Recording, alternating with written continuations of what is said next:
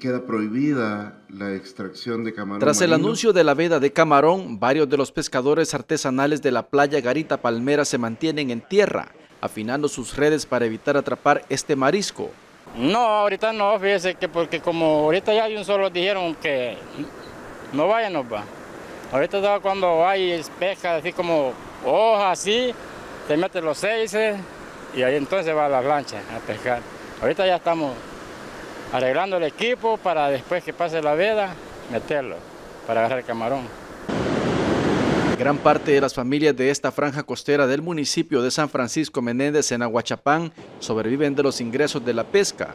Ellos dicen estar de acuerdo con esta normativa para mantener la producción del camarón marino. Pues sí, para así se reproduce más camarón, cualquier pescado. Y pues sí, así tenemos, eh, remendamos el equipo, hacemos todo pues para ir a después a trabajar después de la veda, que pase la veda. Pero también esperan que durante este vigente esta normativa, el Ministerio de Agricultura y Ganadería pueda brindarles ayuda para sus familias, como víveres. Pero está bueno eso, que nos manden un poquito de ayuda para que estamos todos, para que no vamos a pescar pues, ¿sí? Y allí es todo pues. La veda está activa desde el pasado 4 de octubre y finalizará el 2 de noviembre del presente año. Para Cara Sucia Noticias, Enrique López.